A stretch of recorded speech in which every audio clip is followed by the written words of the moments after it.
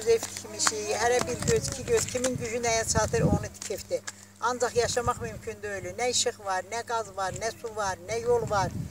Gələn maşınlar da girey eləyirlər. 2 manata gəlir, gəlib bura çatanda 5 manat istəyirlər.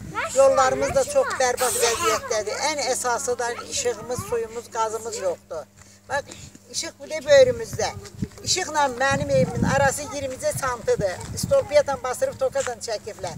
Ancaq 163 ma- 603 manat pul istəyirlər. Ona da imkanımız yoxdur. Bir küçə o üzdə 160 manata çəkirlər.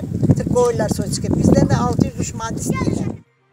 Gəncə şəhərinin Avtozavod adlanan qəsəbə sakinləri müxtəlif sosial problemlərdən, kommunal xətlərinin olmamasından şikayətçidirlər. Sakinlər iddia edir ki, onların evlərinə işıq xəttinin çəkilməsi və sayğacın quraşdırılmasından ötəri onlardan 603 manat pul istəyirlər. Bu məbləği verməyə imkanları olmadığını bildirən sakinlər ölkə başçısından kömək istəyirlər. Yaşaya bilmirik. Qaz dərdindən, işıq dərdindən, su dərdindən, işığın soçkini gətirib bura transformatorunu qoyubdu. Deyir 603 manat ver, işığı çəkim evinə. Mən nə ilə verim? Birinci qrup gözlənəndən bir uşağım var, aləm dağılıbdı.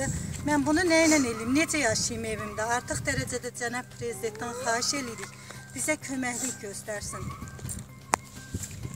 Sizdən artıq dərəcədə xahiş edirik. Bizim biz Gəncə şəhərində yaşayırıq, Avtosavod qəsəbəsində. Orada bizim işığımız yoxdur. İşıq çəkiblər, amma 603 manat bizdən pul istəyirlər. Bizim o qədər imkanımız yoxdur. Hətta suyumuz da yoxdur. Sizdən artıq dərəcədə xahiş edirik. Bizim işlərimizə baxasınız. Hamımız iki körpə balam var. Biri oğlum əskərlikdədir. Sizdən xahiş edirik. Vətənimizi qoruyur mənim balam. Amma biz qaranlıqda yaşayırıq. Allaha and olsun ki, bizim 603 manatımız yoxdur ki, biz işıq çəkdirək. Bu işə baxın, qurban olum sizdən artıq dərəcədə xahiş eləyirəm. Sizə yalvarıram, bir ana kimi, bir bacı kimi.